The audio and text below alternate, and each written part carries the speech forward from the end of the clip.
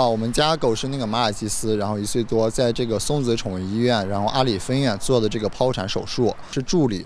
然后因为他们操作不当，就是把我那个小狗的羊水给扯破了，导致死了一只狗。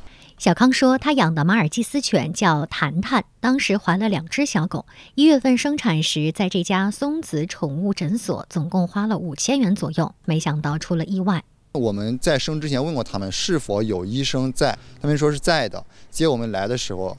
我们以为那两个人是医生，结果到最后他们没有办法，他们说他们两个是助理。一开始他们说的是可以顺产，结果呢他们判断失误了，当天晚上紧急打电话让他们过来的。小狗它在外边时间有点长了嘛，那属于难产的情况。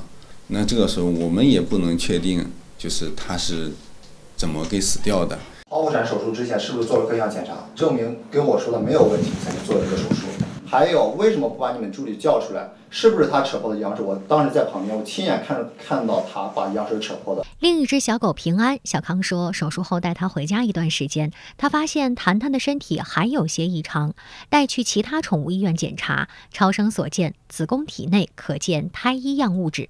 因为他们的院长他把我狗取了之后，胎盘没有取出来，两个胎盘都留在了肚子里。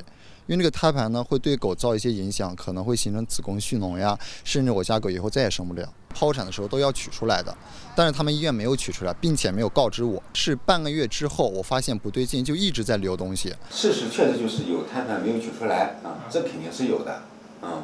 然后后来又提供了解决方案，那现在的话还有一些胎盘在里边。我自己也做一些剖腹产手术的嘛，这一块确实平时我们也很少去就是。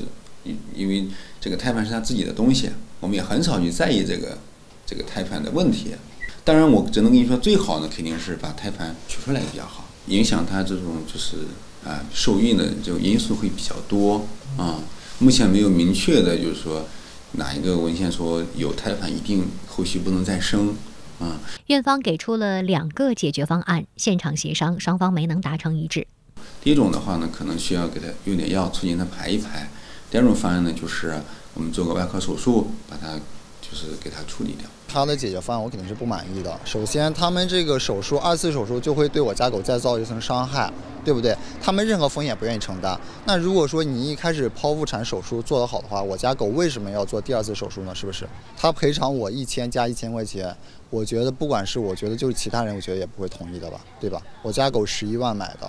一两万买的报十一万，这个价格没有必要，因为我家有三个马尔济斯。采访时，小康没有找到买狗时的付款凭证，表示会去找找看，也希望大家都来评评理。幺八幺八黄金眼记者报道。